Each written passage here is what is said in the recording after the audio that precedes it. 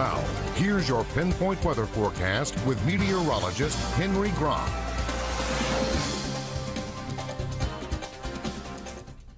So we're starting to see that heat across the middle Ohio Valley with those temperatures climbing all the way into the upper 80s. And here in Marietta, you can really feel just how hot it is, not only because the actual temperature is sitting in the mid 80s, but those dew points, that number that we are going to be keeping an eye on since the start of this week, all the way towards the end, sitting in the upper 60s, which is why our feel like temperature is in the upper 80s right now. It's not really feeling comfortable. Now, as we continue through the rest of the afternoon, depending on where we get the most cloud cover, not going to be warming up too fast, but Athens has been able to get all the way up into the low 90s because they've dealt with a little bit more sunshine than us here through Parkersburg and Marietta. And you can see that right now with some cumulus clouds moving into Athens, but slightly north of Washington County.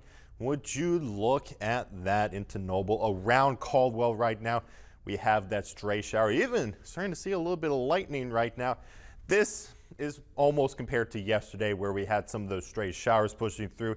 And it's going to be the same case where all of us staying dry, a few of us really going to be getting a downpour. And that's because of all that moisture we have throughout the region. Continuing to see dew points reaching the low 70s off to our west into Kentucky and Indiana.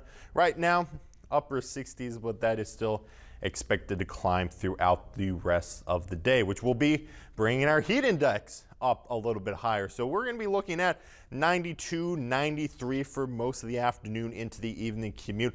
We'll cool down overnight, but still notice by around midnight, our feel like temperature is in the mid 70s. And then yet again, heading directly into tomorrow, 85 degrees by lunchtime, already feeling like it's in the low 90s. So got to make sure you are taking care of yourself, making sure you're drinking plenty of water, taking some breaks out from the heat, and don't forget those sunglasses and sunscreen because our UV index is sitting at 10, so it's going to be taking about 15 minutes if you do forget to apply some to start to get a sunburn, which is not comfortable after a few days. So got to watch out for that. And even if you do need to stay outside, make sure to wear light color clothing, plenty of sunscreen, and take some frequent breaks, especially head inside and enjoy some nice AC. So taking a look at future Futurecast, it's going to be showing us some of those pop-up showers through the afternoon, but overnight tonight will start to quiet down. So moving into your morning commute tomorrow,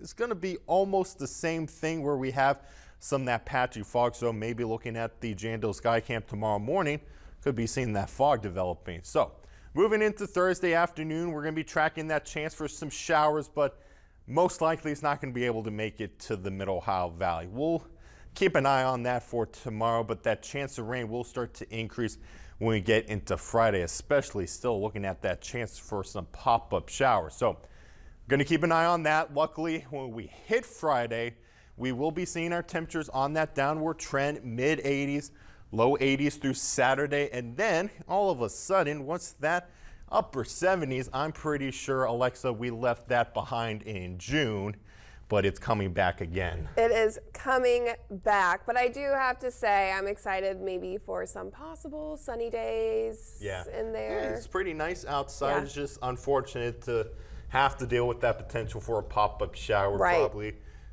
ruining people's day by I wouldn't cancel plans yes. over that. Or when you're at the pool, you know, it's a great time to yeah. go to the concession stand and take a break from the pool. Yes, exactly. it's, it's, like summer, you know, those pop up showers. That yeah. feels like summer. Oh, they're the most yeah. annoying things to deal with. They really are, though. But like we said, summer. Yes.